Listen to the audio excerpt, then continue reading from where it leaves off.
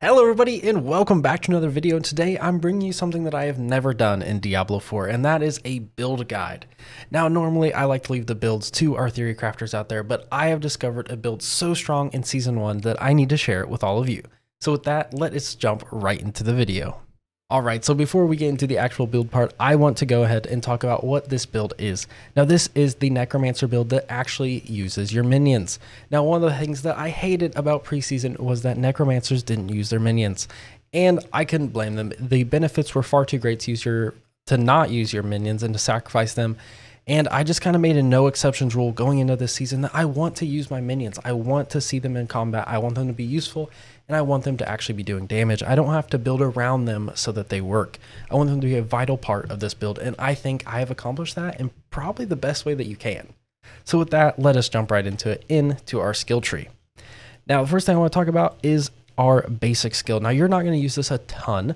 Basically, what this does is when you swing it, it's going to just basically drop a corpse. That's all we're really using it for. It's just to create the first couple corpses.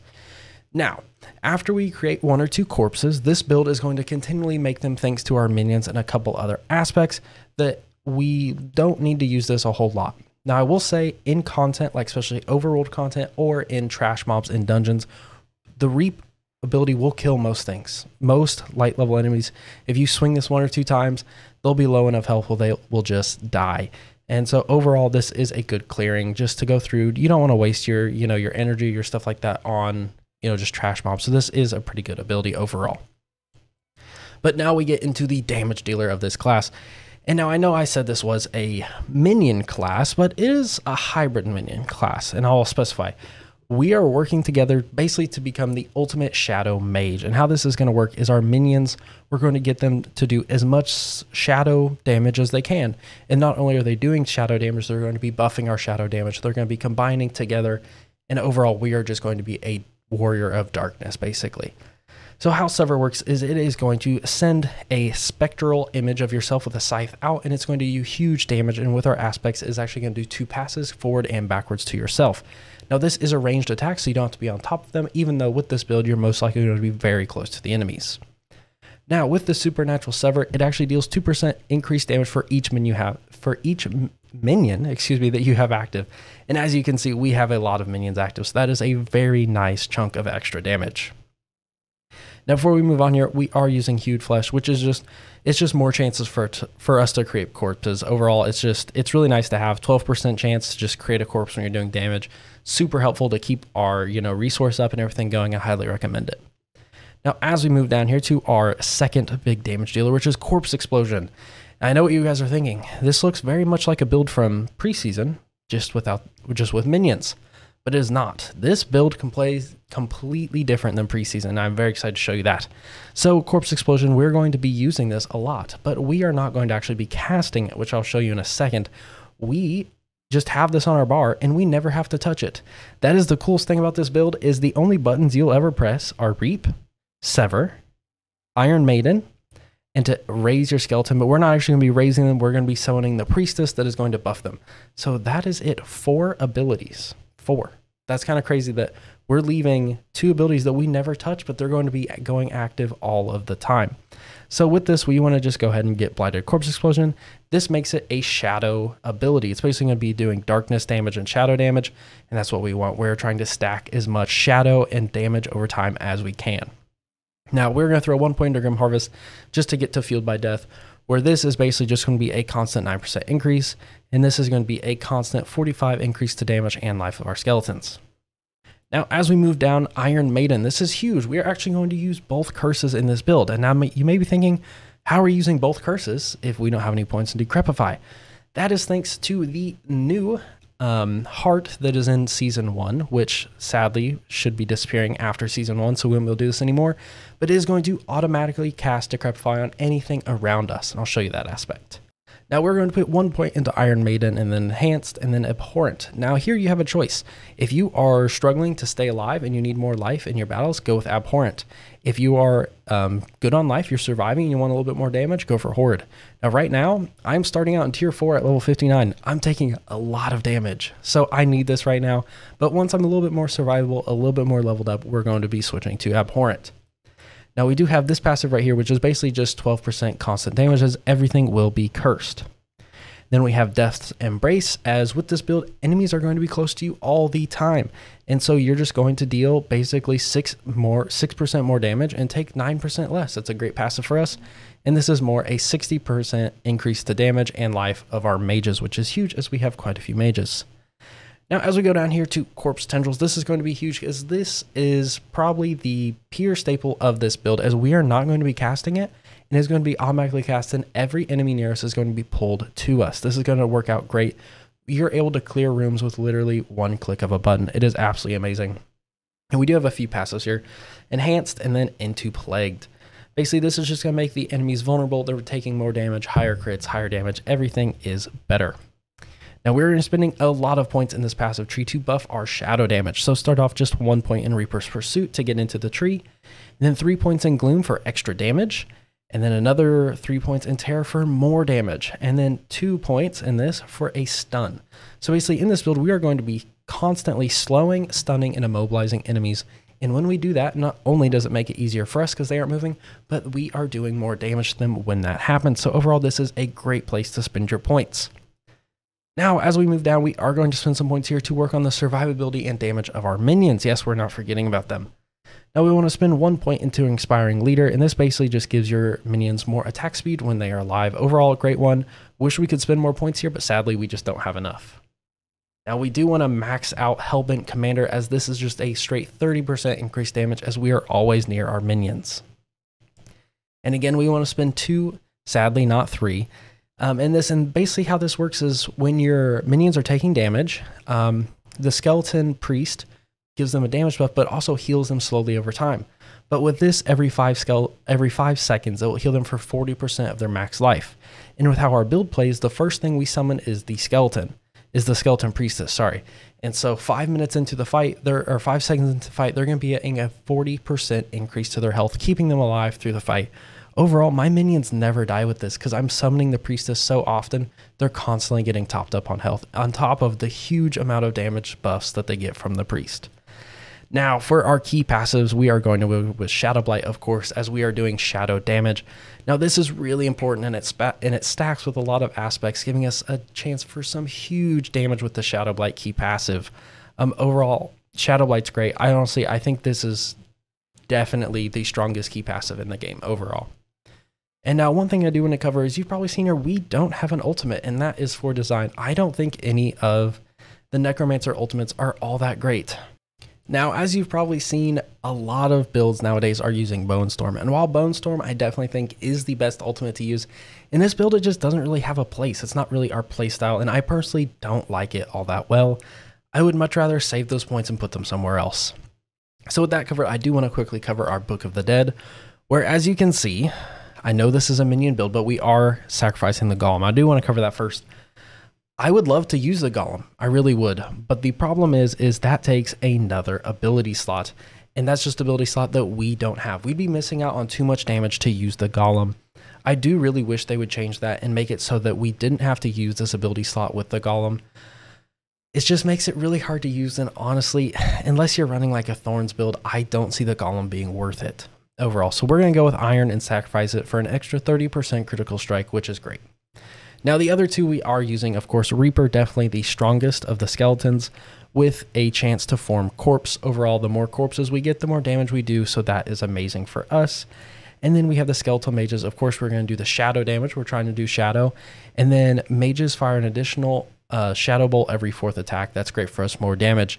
Now, if you're having problems with enemies not being stunned, which really with this build you shouldn't, you could use this, but overall we have so much stun we don't need it. So we're just going to go for a little bit extra damage in our build.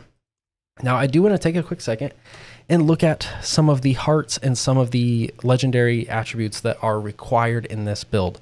And one of the biggest ones, I would say, is this legendary aspect. Your skeletons gain increased damage while alive up to 30% after 10 seconds. This, I think, is probably the most important legendary aspect in the build as it just gives your skeletons a ton of damage. 30%, they're always alive, so that's always going to be maxed out at 30%. And this is just a straight 30% increase of damage, and they do a ton of damage. So this is absolutely necessary in this build. Now, also attached on this is, is the heart that is absolutely required. this build will not work without this heart. So basically what happens when you walk near a corpse, it automatically activates any corpse skill per second, and it does do 33% less damage. But overall, that's not going to matter because we are casting it way more often than we could by hand. So that 33% really isn't a thing for us, thankfully. Now, how this works is basically it's going to cast the corpse skills left to right in priority. So as we have raise skeleton first, it will actually raise skeletons for us, but it will not raise them if they are full. So it will not summon the priestess. So we have to summon the priestess manually.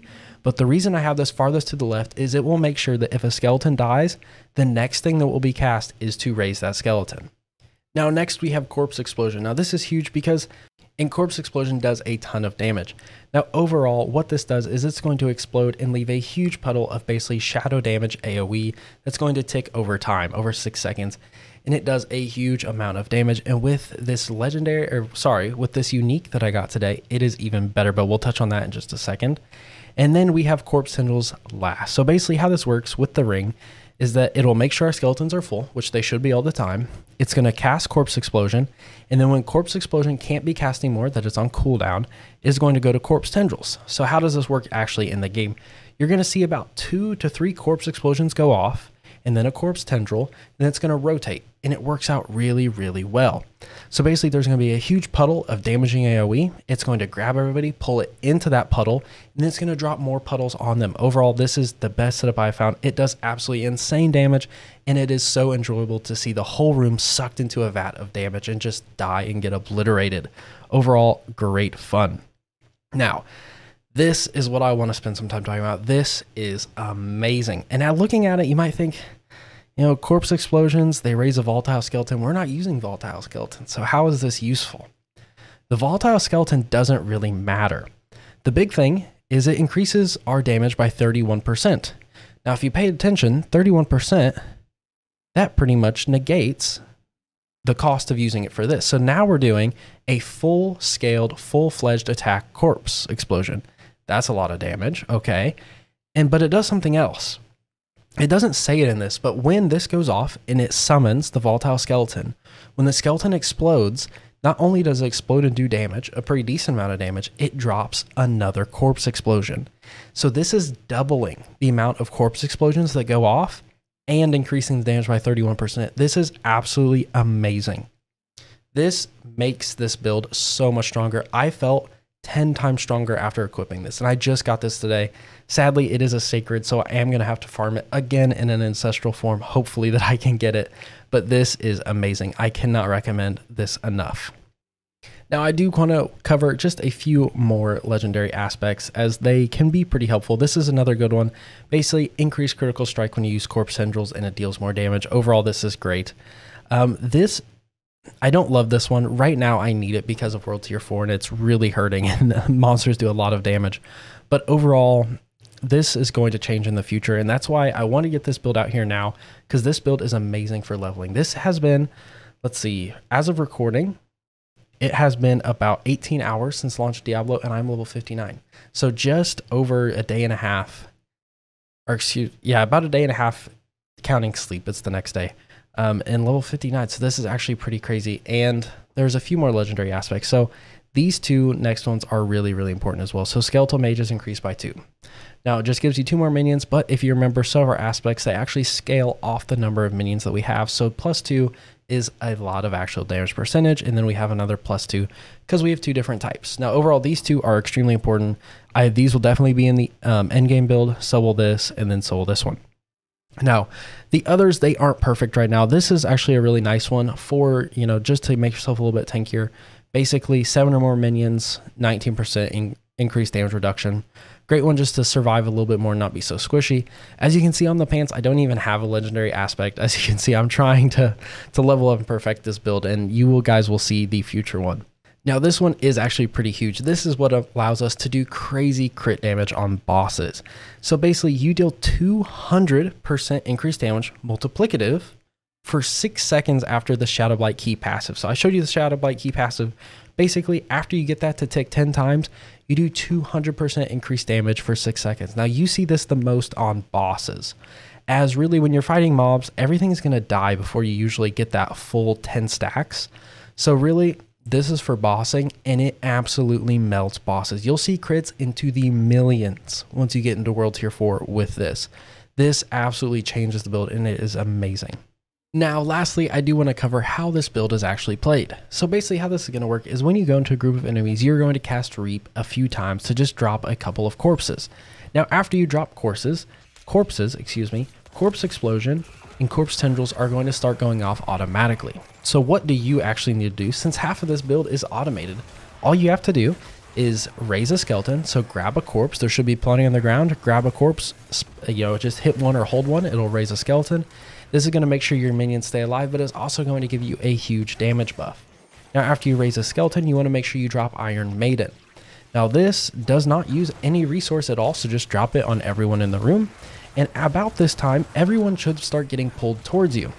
Now, thanks to a couple of our abilities, we're going to actually be casting our second curse, Decrepify, automatically because it is a swirling AoE around us. So now everything is double cursed. It is being ticked over time by shadow damage, and it is all vulnerable. Now, really easy, you just pop in a couple severs and everything dies. Even high level named elites, they will get absolutely melted by this. Now today in World Tier 3, we were farming some, I believe they were Tier 18 Nightmare Dungeons. We actually had the Butcher spawn. And sadly, I wasn't recording for this, but me and one other person, we were able to kill the Butcher in about four seconds thanks to this build right here, this build. It absolutely destroyed the Butcher. I had a bunch of corpses spawned up from killing everything super buffed up. I got that you know Shadow Blight buff, and I absolutely destroyed the Butcher in Tier 3 in an 18 Nightmare dungeon. Now overall, this build is amazing. I hope you guys enjoy it, and you will see future videos, and you will see videos in the future with an updated guide on the legendary aspects or anything that changes as I progress through World Tier 4 and on to 100. So with that, thank you everybody for watching. I hope you guys have a good time and I hope you guys enjoyed the build. And make sure to leave any feedback in the comments. You know, I am not a perfect, you know, theory crafter build crafter. I do like to build my own builds, but overall, I am not an expert at this by any means. But I think I have found a very, very strong and fun build for the people that actually want to use their summons on Necromancer. Now, with that, thank you everyone for watching, and I hope to see you guys in a future video.